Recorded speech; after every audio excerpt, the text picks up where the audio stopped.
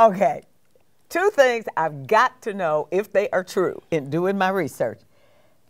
Did you really call President Carter I sure did. the N word? I sure did. Right there on, um, right there uh, in um, Riverdale. I worked at McDonald's, and he walked in, and it was because at the time I was still thieving. I was stealing out of the register, and um, he walked in. Before he walked in, all just all these guys come in with these plugs in there. I said, "What is going on?"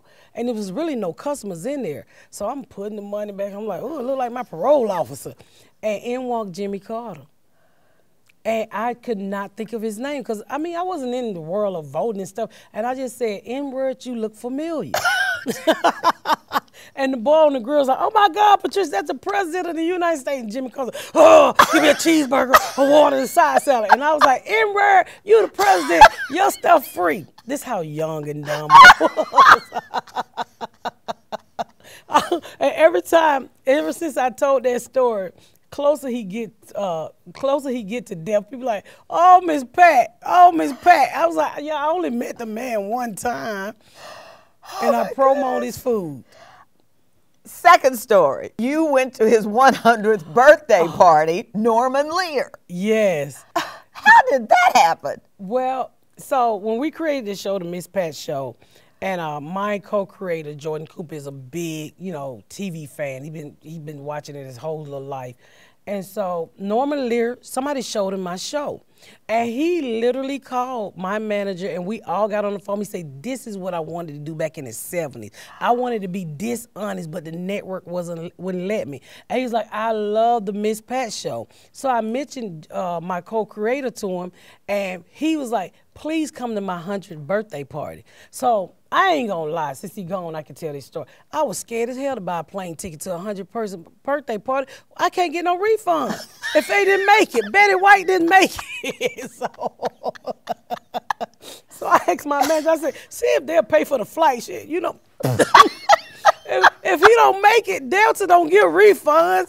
So we, we waited till the last minute to book that ticket. And I get to that party and all these people, I hate bougie people. I hate how, cause I'm just a little, I'm just a, I'm, I'm a hood rat from the West End. So we sitting there, the food is horrible. Oh my God, everybody just eating it like it's delicious. I was like, oh, I'm gonna give me some chicken after this.